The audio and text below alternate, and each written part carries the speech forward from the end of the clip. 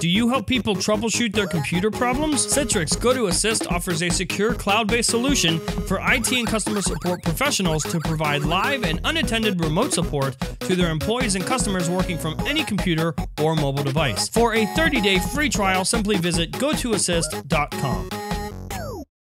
Nintendo. Is that all you needed to know? Just just the company name Nintendo? When I hear that word, the, the name of the company, I I uh, feel nostalgic inside because I remember the first time I ever saw an NES. It was at a neighbor's house. They had it before we did, and it, uh, was Super Mario Brothers. I I will be the first to uh, admit that I, I never actually beat Super Mario Brothers. The first Nintendo game I ever beat on the NES was the original Legend of Zelda, and then uh, the next one uh, was uh, The Adventure of Link, the sequel. Uh, I also ended up beating a, a variety of other games, uh, or you know, running all the way through Kid Icarus, Metroid, a lot of the original NES games, the classics, really. So Nintendo has a patent that hints at an official Game Boy emulator for mobile phones or mobile devices.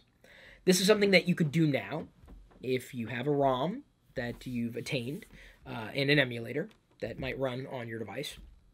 And it's it's not something that you can't do because you can do it. People are doing it now. It's just not official, and it's it's not uh, sanctioned. So it's a gray area. Let's admit. And I think everybody can be fine with that if Nintendo had an alternative. And I've long argued that Nintendo could probably make more money in selling its games, its intellectual property, all of its characters and everything on iOS and Android devices. They could probably make more money doing that than they've been able to make with the Wii. Uh, I, I, think they've got far more value in uh, the Link character, uh, the Mario character, any one of the Nintendo char- uh, characters. Uh, that's something that I'm excited about because maybe Nintendo sees the writing is on the wall and they're willing to kind of inch forward, or if you're not American, centimeter forward. I was trying to, I was trying to, you know, be balanced for everybody. Uh, I believe Nintendo should do this. I, I think it would be great.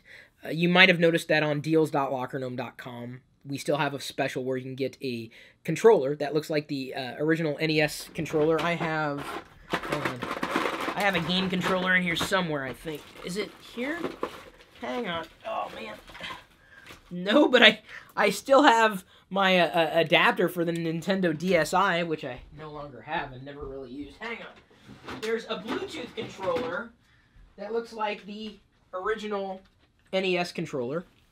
This is a USB adapt uh, adapted uh, NES controller. This is obviously not Bluetooth.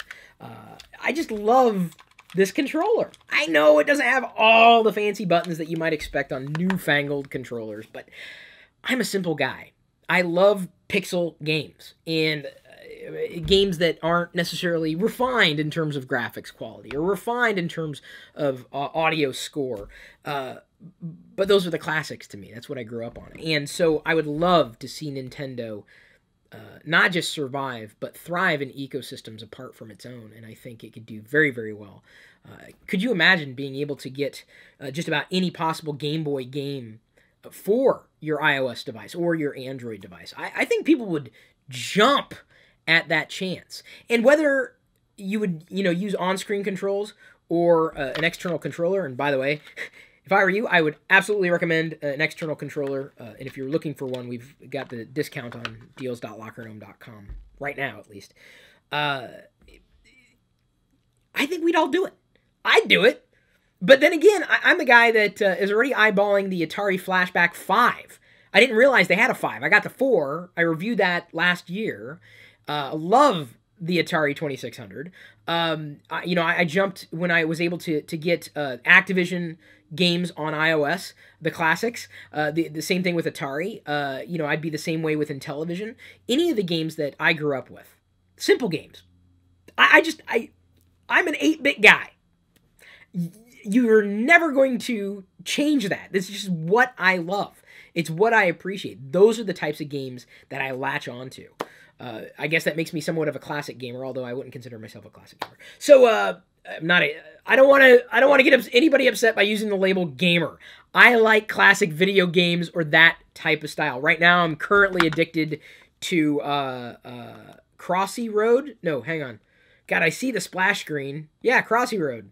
I have uh, 38 out of 50 characters unlocked, and I highlighted it in the uh, vlog the other day. I'm not gonna actually. Okay, fine. I'm gonna show it to you right now. I won't. I won't. Oh, sorry. I was recording the podcast and I unplugged the uh, the microphone. I'm back though. Shouldn't have unplugged the microphone. Uh, all right, let me actually launch into Crossy Road here, and I will play Celeb. This is the first character that my wife Diana saw. She said, "Oh, Celeb," and I hadn't unlocked it yet. And basically, it's like Frogger. It's Infinite Frogger, uh, only it's way more interesting and way more fun than Frogger. And my current top score is 221, I believe. Yeah, top 221. So I'm trying to top that. I love that game. That's me. And those are the types of games that I would love to see on iOS and possibly updated to be touch optimized. Uh, but even if not, if Nintendo brought those uh, those games over to iOS and Android, you're never going to hear me say that's a crazy idea. I think it's crazy that they don't. Congratulations to this week's recipient of the Intel Android tablet. He followed directions and told Chris what his favorite productivity app was. This week, if you want our next Intel Android tablet, tweet Chris your favorite creativity app and be sure to include the hashtag Intel Android and tag Chris Pirillo at the end of the tweet. That's at Chris Pirillo at the end of the tweet.